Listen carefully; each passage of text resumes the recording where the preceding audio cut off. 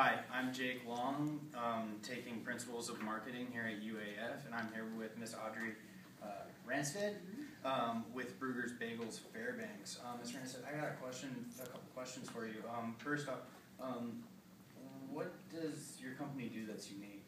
Um, Well, uh, we're a bakery cafe, and our core product is bagels. So one thing we do that might be a little different is we bake our bagels fresh, all day, every day. Um, we offer an upscale menu. We offer healthy options as well as traditional favorites. Um, we offer our entire menu all day, every day. Um, so you can come in at six o'clock in the morning, you can get breakfast, um, you can get your salad for lunch, for later to go. Um, we also cater to, um, groups. Um, we do box lunches, we also do platters.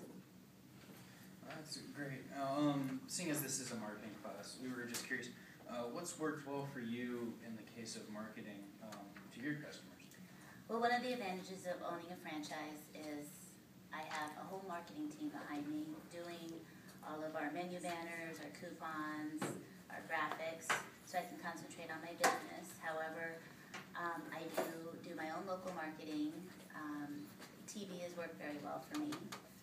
Uh, we started doing TV ads probably about three or four years ago, and instantaneously, instantaneously, I noticed my sales went up about thirty percent. Um, the thing about Bruegger's is it's very uh, visual, it's a warm atmosphere, um, and our food tastes as good as it looks. So TV works well. So works well. Okay, um, now, what's something that um, students might not learn in the classroom that you think they should really know to apply to the business world? Um, probably common sense.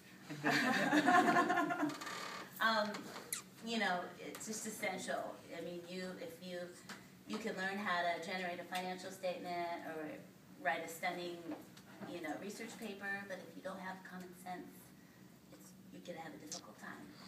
Okay. And um, just one last thing, is there any pieces of advice you'd uh, give to any college student trying to make it in the world? Well, um, this is a time in your life where you're learning and having fun, but you're also building relationships and making connections. Um, so, you know, as for my own experience, it's just been great. I've called on many of fellow students over the years for advice, bouncing ideas back and forth. You know, whether it's working with your banker that you met in college or, you know, um, just if you need a recommendation for a job or, you know, things like that. It's just really important to build um, good, solid friendships and relationships with your colleagues because you never know.